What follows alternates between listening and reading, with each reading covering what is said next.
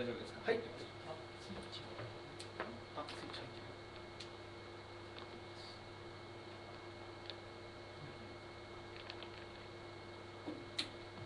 あこれで入りましたかね。はい。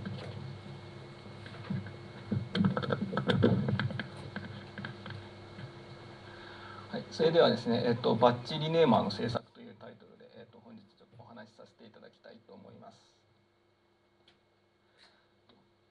まあ、まず、えっと、まあ、簡単に自己紹介させていただいて、まあ、ツールが、えっと、まあ、一つのツールができるまでっていう流れで、えっと、お話しさせていただきます。まあ、設計をして、実装して、えっと、テストという流れで、えっと、お話しさせていただきたいと思います。えっと、自己紹介、まあ、先ほども簡単にさせていただきましたけれども、えっと、本名、八尾と申します。で、えっと、ハンドルは、えっとまあ、それを直訳した形で、エイトテイルズという、えーハンドルを使わせていただいてます。でえっと、仕事ではですね、えっとまあ、メーカー系の、えっと、SIR に、えー勤務しておりまして、えっと、基本的に業務アプリ系です。で、えっと、業務ではですね、えっとまあ、昨今珍しく C++ を、えっと、メインに開発しています。ただですね、えっと、ほとんどまあバッチとか計算ロジックとかその方で、えっと、GUI のアプリっていうのは講師ともにあんまり、えっと、開発経験がないです。えっと、それから、えっとまあ、あとここが肝なんですけど自宅ではいつも、えっとえー、デビアンですね、えっと、Linux をメインに使ってまして、えっと、それはまあ Qt を始める動機の一つになったというのがあります。で、えっと、Qt のプログラミング歴はですね、えっとまあ、今年になってから、えっと、Qt この Qt の勉強会が始まってからですねなんで、えっと、今回、えっと、作ったツールがですね、えっとまあ仕事でもまあ触ってはいるんですけれども、えっとまあ、日曜プログラミングのとしてはまあ初めてできたアプリということで、まあ、初めてのツールができるまでという形で、えっと聞いていただければと思います。で、えっとツールは、えっとまあ、D リネーマーっていう形で、えっとえー会員タイトルを付けさせていただいてます。で、これ何をするツールかっていうと、えっとファイル名を、えっと一括で、えっと置換するツールですね。まあ、あの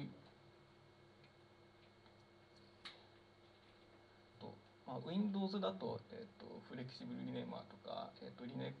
だと,、えー、と Py リネーマーとか、とそういうツールがあるんですけど、まあ、それの、えーとまあ、Linux クローンだと思っていただければわかる、えーイメージしやすいかなと思います。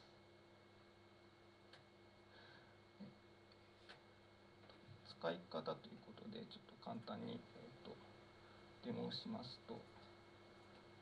えーとまあ、これ、キュートクリエイター上のプロジェクトですけれども、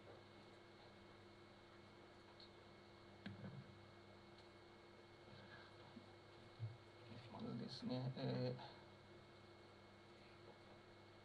まあ、このデジカメで撮ったあの画像のファイルの、えっと名前を変えたいという、えっとユースケースを考えています。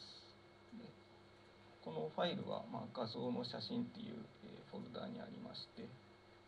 で、えーとまあ、この大文字の、えーまあ、IMG っていう、まあ、プレフィックスを、えーあ、例えばイメージっていう単語に変えてみましょうと。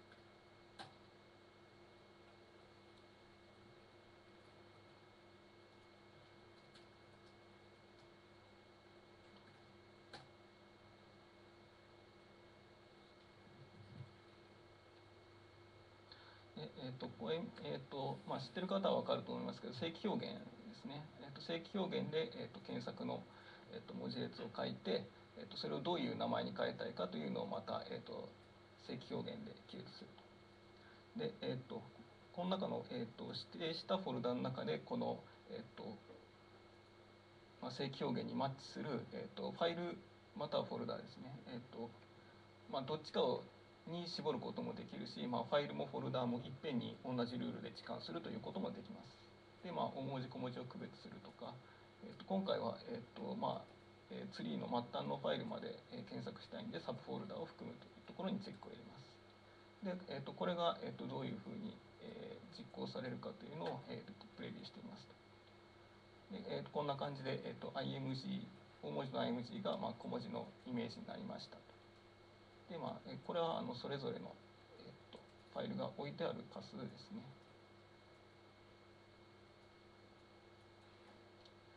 で、えー、とこれでプレビューして大体いいよっていうことになりましたらこれでリネームっていうのをやると、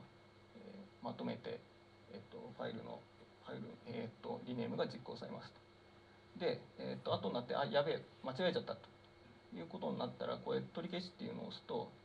1回だけ元に戻せます。えー、とで、えーまあ、最終的に何も変わってないっていうオチがついたところで、えー、とと説明の方に戻らせていただきますと。まあえーとまあ、ツリービュー上で、まあ、対象のフォルダを指定して、まあ、検索文字列しか文字列を入れる。で検索条件を入力した後プレビューをして、えー結果を確認したら実行と。で間違えちゃった場合は取り消しをすればいいってことですね。で、えー、とこれを作った動機とかあとまあ自分の中で、えー、と実現したかった要件はですね、えーとまあ、当初は、えー、とこうデジカメで撮影した写真とか動画を整理したいと例えばあの撮った動画を、えー、と DVD のオーサリングソフトに突っ込む時にファイル名を日付順にしたいとかそういうことを、えー、ともともとはやりたかったんですね。で、えーとまあ、まあこれ今動いてるのを見ていただいて分かる通り Linux を普段使いでやってるんで Linux で動かしたいともちろん Windows で動けばそれに越したことはないよねと。で、えー、と Linux だとどうしてもシェルスクリプトでっていう文化なんですけども、えーとまあ、やっぱり自分 GUI でやりたい。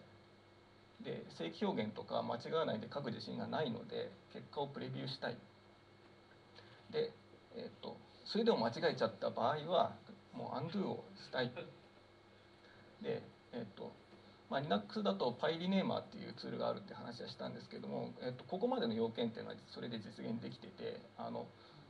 こう記法を正規表現で書きたいっていうのが自分の中での、えっとまあ、欲求としてあって、えーこの PyRenamer ってこう独自の文法なんでそれがどうしても覚えられなかった。まあ、これさえできればあの別に自分で作る必要なかったんだけどなというのが、えー、と動機ですね。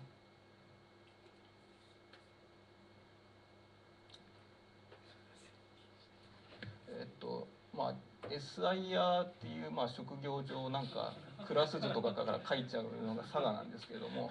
えっと、まずロジックのところの設計から入っちゃってます。えーまあ、給湯的な方法論として、まあ、これがベストかどうかというのは置いといて、えっと、まず、えっと、クエリっていう、まあ、クラスがいましてこれが、えっと、GUI から入れる、まあ、検索文字列とか地下文字列とかあと大文字小文字を区別するとかサブフォルダ含むとかそういう条件をここに入力してます。で、えっと、リネームメソッドっていうのがあってこれはその、えっと、ファイル名を置換するための機能えっとまあ、その中の一つとして正規表現の置換っていうのがあるわけなんですけども、まあ、リネームツールの機能として例えばその連番を振るとか、えっとうん、親フォルダの名前をこう、まあ、ファイル名の一部に取り込むとか、えっと、例えばその 取った日付がフォルダの名前についてたらそれをファイル名につけたいとか、まあ、自分そういうことをしたかったんで、えーこういうことやってます。まあ、あと、えっと、例えば MP3 の中身を見るとか、えーまあ、イクシフのタグを見るとかそういう機能をつけたいと思った場合はこのクラスを継承して、えー機能を追加できるという設計にしています。で、えーっと実際に、えーとまあ、この文字列にマッチした、えファイルをこうやって、えこういう、えリネームメソッドを使って置換したやつを、えーっとリネームっていう、えーっと構造体に、えっと一えっと入れておきます。でこれが置換前のファイル名っていうのと置換後のファイル名というのを、えここに格納してましてこれのリストというのが、えっとこの、えー、get リネームリストっていうのを実行すると出来上がります。これが、えっと先ほどお見せしたプレビューの部分になるわけですね。でえっとでその、えー実際に、えー、とそのファイル名を変えるっていうコマンドを実行する部分、えー、とこれがリネームコマンドって言いまして、えー、とこれは、えー、と QUndo コマンドっていう、えー、と Qt の、まあ、undo フレームワークにあるクラスを利用しています。でえっ、と QUndo コマンドは、まあ、redo っていうのが、まあコマンドを実行するで、えー、と undo っていうのが、えーコマンドを取り消すですね。で、えっと、この、えっと、リネームが先ほどリストって言いましたけどもこれは順番を持っているんでこれを、えっと、逆から実行すると、えっとまあ、アンドゥになるわけですね。で、えっと、この Q アンドゥコマンドっていうのは、えっと、アンドゥスタックっていうものがありましてこれにこうあのコマンドをこうどんどん突っ込んでいくと多段アンドゥができるんですけれども、まあ、安全ということで、えっとまあ、アンドゥは1回だけという制限を今回つけてます。で、えっとまず、えっとこれを、えっと実現するための、えっと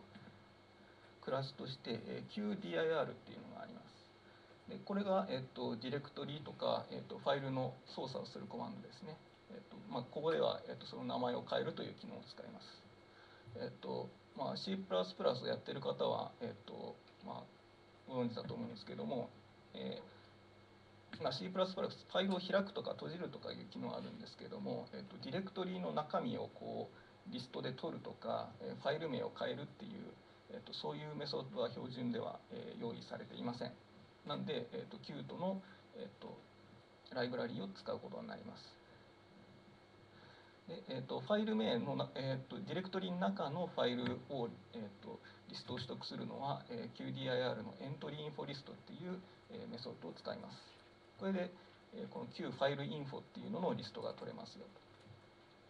と。で、この Q ファイルインフォには何が書いてあるかっていうと、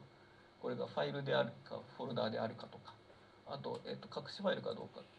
あと,、えー、とファイルのパーミッションとかですね、えー、とそういったファイルの属性が、えー、と取得できますと。で、えー、QDIR の、まあ、リネームっていうのはそのまんまですね。あとファイルの名前を変えるコマンドです、えー、とメソッドですね。なんで、えーと、QDIR を書くことで、まあ、C++ でも、えーと、ファイルの操作がクロスプラットフォームで実現できると。でえーとまあ、もう一つ、えー、と使っているクラスで主なものは、えー、と Q レギュラーエクスプレッション。これは、えー、と正規表現ですね。これは、えーとまあえー、見ていただいたファイル名の、えーと、検索と,、えーと、時間に使用しております。で、えーと、クラス名としては、まあ、レギュラーエクスプレッションなんですけども、えー、と実際にはこのクラスでワイルドカードとかを使った、えー、と検索もサポートしていますと。でえー、とこの、えー、レギュラーエクスプレッションのクラスを作るためのコンストラクターに、えー、と GUI から、まあ、入力しているいろんな条件ですね、えー、とクエリーの文字列だとか、えーと、大文字小文字を区別するかとか。で、えーと、パターンシンタックスっていうのはその、えーまあ、表記の種類ですね、えーと、なんだっけな正規表現の、まあ、パール式、えー、Ruby 式でしたっけ。そういう種類だとか、まあ、ワイルドカードで記述するよとかそういう種別をここで、えー、指定しますと。でこの、えーと、 exact match っていうのが、えー、各ファイルにマッチするかどうかを返すメソッドで、えー、これにマッチしたファイルを、えーと、先ほどのリネームメソッドにかけてファイル名をこう変換していくというロジックになります。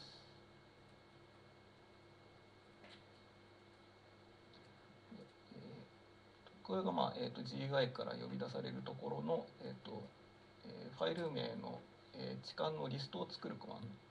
箇所の、えー、コードですね。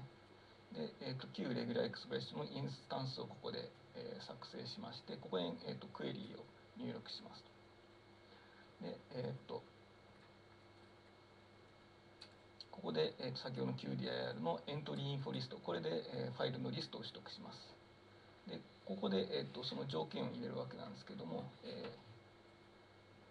とこれですね、えー、大切なのがノードットアンドンドットドット まあえドットっていうのはカレントフォルダーで ドットドットっていうのは親フォルダーですね。えっと、これ忘れると、えっと、再起処理した時に上のフォルダーまでどんどん辿っていっちゃうんで 壊滅的なことになります。で、えっとまあ、ここで、えっと、取得したものこの Q ファイルインフォリストって、えっと、Q リストのファイルインフォの、えーまあ、タイプデフだったかななんで、えっと、ループは、えっと、こういう形で for each で書けますと。で、えーと、これがまあディレクトリであるかとか、えーと、こう、えー、is subject っていうのはそのリネームの対象であるかどうかってことですね。えーとファイルだけを対象にしているのかフォルダーだけを対象にしているのかあるいは両方なのかでえっとで引っかかったファイルが、えー、ディレクトリの場合は、えっと、サブフォルダーをチェックするっていう、まあ、オプションがあるんで、えっと、それがついている場合はこの、えー、同じメソッドを、まあ、再起呼び出しで呼び出しますと。で、えっとでファイルについて、えーまあ、ファイルないしはフォルダーについてマッチしたものは、えー、この各リネームメソッドこれは、まあえーと、いろんな機能がリストになるんで、えーと、それぞれの、えリストに対して、えーまあ、このファイルの名前を変えてくださいよっていうのを、えー、依頼します。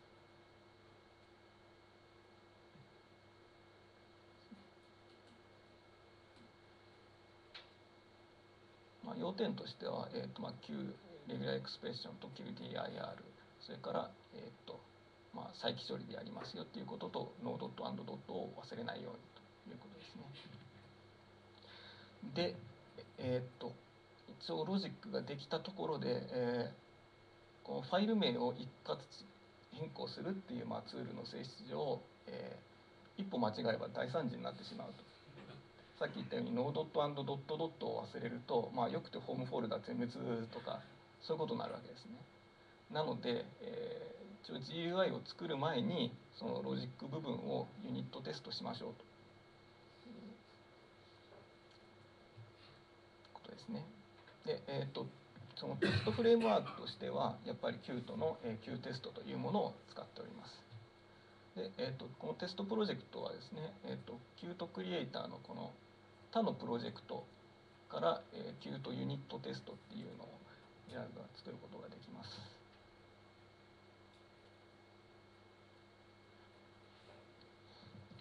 えー、その、えーと、キュートのテス、えー、クリエイターの、まあ、テストプロジェクトのウィザードで、えー、を実行すると、えー、こういう、えーまあ、クラスが生成されるんで。これは、えーと、他のキュートのクラスとはちょっと、えー、性格が違っていて、えーまあ、この、テストクラスの場合この、えーと、プライベートスロットが、えーと、重要な意味を持つんですね。でこの、えーと、プライベートスロットに、えー、と宣言しているメソッドっていうのが、えー、と各テストケースになります。で、えー、このテスト用関数を、まあ、プライベートスロットとして作成すると,、えー、と旧テストランナーだったかなえー、とそのテストを実行するクラスっていうのがまた Qt の中にいてそいつが自動的にこいつらを呼び出してくれますと。で、えー、とこの、えー、とプライベートスロットの中で、えー、とクリーンナップっていうのがいるんですけども、えー、と今回こいつは特別で、えー、と全テストケース終了後に呼ばれるっていう、えー、とクリーンナップだけ一番最後に呼ばれるっていうことが、えーとまあ、Q テストの中のルールとして決まってるんですね。で、えー、とそのテストを実行した後の、えー、と後始末をここでやると。で、えー、とここではですねあの、えー、まあファイルのリネームのテストなんで実際にテンポラリフォルダにファイルを作ってそれをリネームするっていうテストをやるんですけども最後にそのファイルを消すっていう後始末をここでやってます。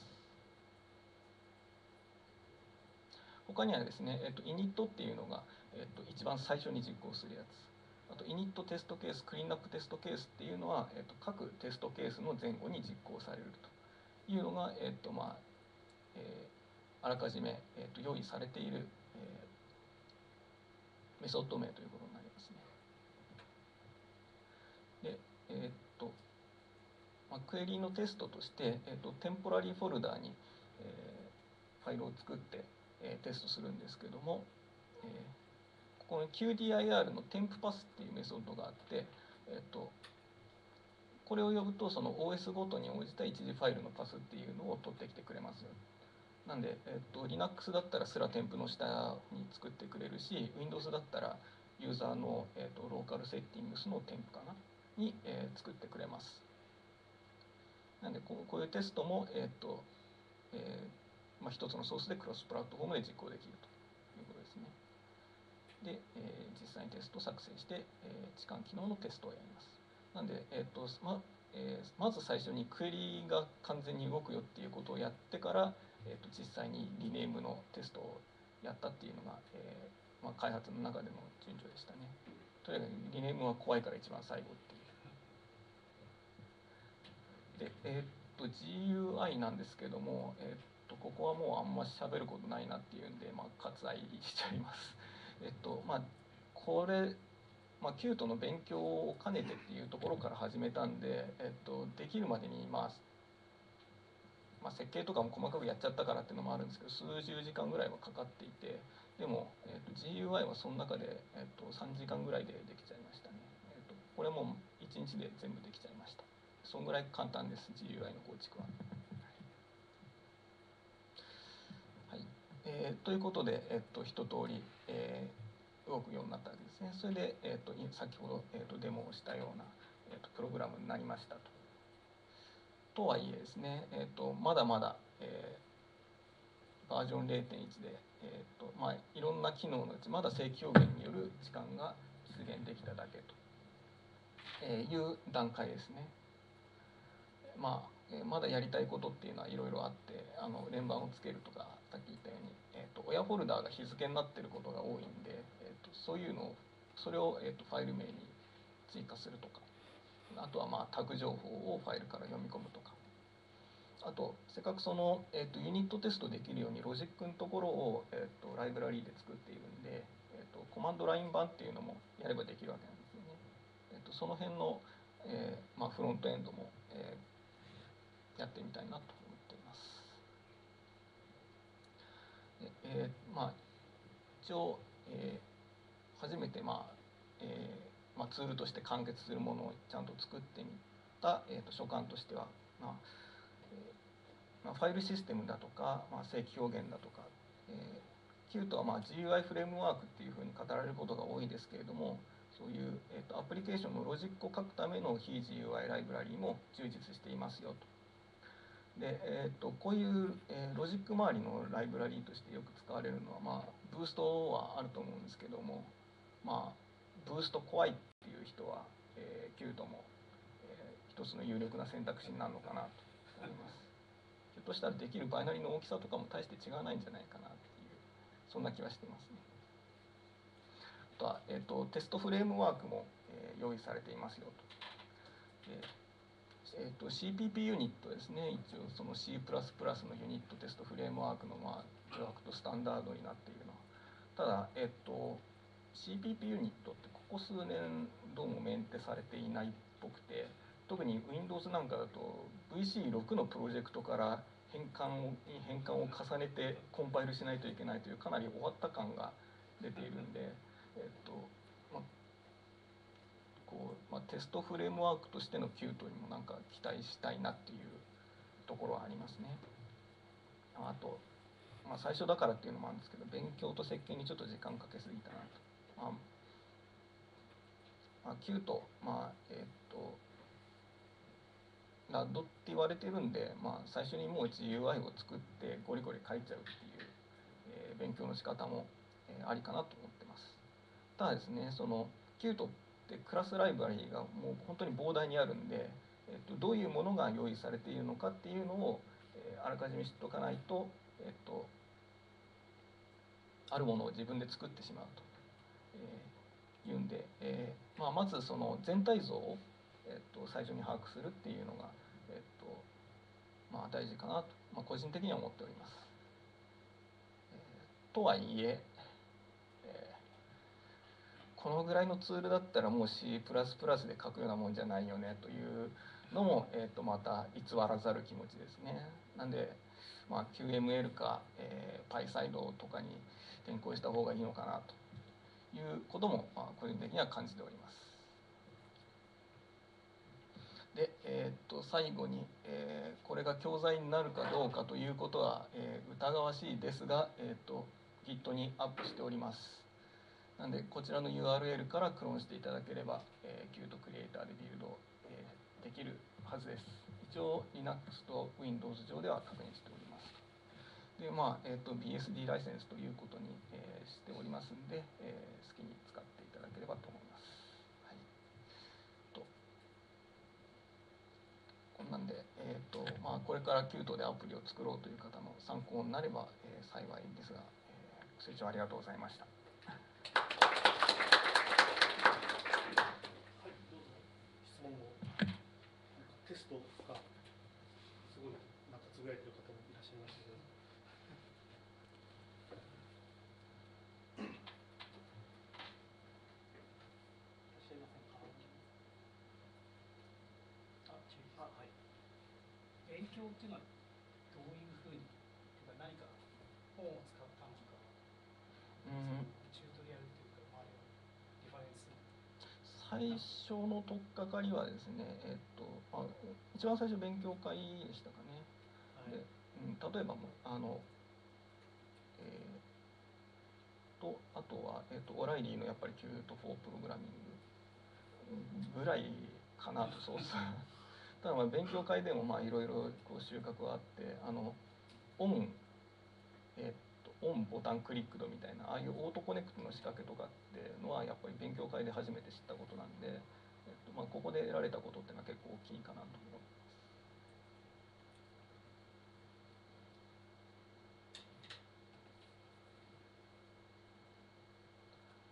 他に